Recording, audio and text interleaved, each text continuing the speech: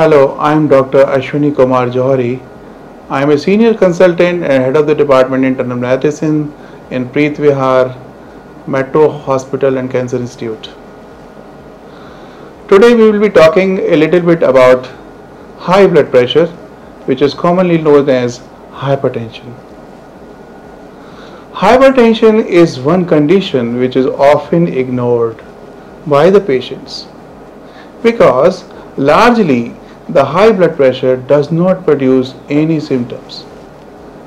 Sometimes you will be surprised the doctor measures blood pressure quite high but you have no symptom and you ask the doctor to measure the blood pressure again and again because you does not believe that you have such a high blood pressure and have no symptom.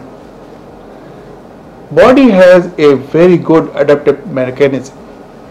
As the blood pressure goes slowly up and slowly high, body adapted so well that you may not get any symptoms. But the blood pressure is still without producing any symptom is harming the various organs in your body. It is continuously harming your kidneys, your heart, your brain, your eyes. And you remain absolutely ignorant about these because until unless the damage to these organs progress to a higher level, you may not get any symptoms. So what I want to give you a message is that if you are diagnosed blood pressure, you have to follow regularly by measuring the blood pressure yourself at home. Why I said that it is important to measure the blood pressure at home because there are some patients in whom the blood pressure is measured high erroneously when they come to the clinic or to the hospital setting.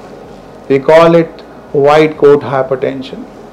In these patients, or if these patients measure the blood pressure at home, the blood pressure comes normal. Then there can be patients like that who gets high blood pressure in the office or some patient who can get high blood pressure sometimes at home and not in the office. So it is important to measure the blood pressure self at home and sometimes you need a ambulatory BP monitoring to diagnose the blood pressure. But once the blood pressure is diagnosed and blood pressure and you are being advised the treatment, kindly follow the treatment. The treatment means you need a lifestyle modification including diet and exercise and also medication. Diet and exercise we know is very important even in today's era when the corona is there and there are limitation in moving out the floor exercise and yogic exercise can be done at home to keep up to your schedule. The diet means you have to restrict the salt in your diet. And accordingly if you have other comorbidities like dyslipidemia you may need to reduce the some fat also in your diet. And you have to keep your weight uh, you know in control and you have to keep your weight in limit besides that the medicine is very important part in most of the patients and medicine should be continued maybe lifelong. As we think that medicine produces uh, maybe more side effect many patient thinks the medicine will produce more side effect when it will be taken throughout the life.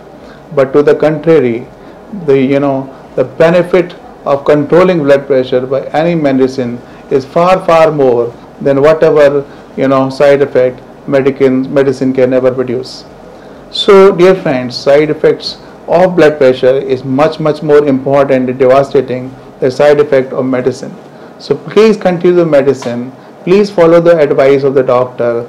Please do the regular exercise. Please do and follow all lifestyle medication.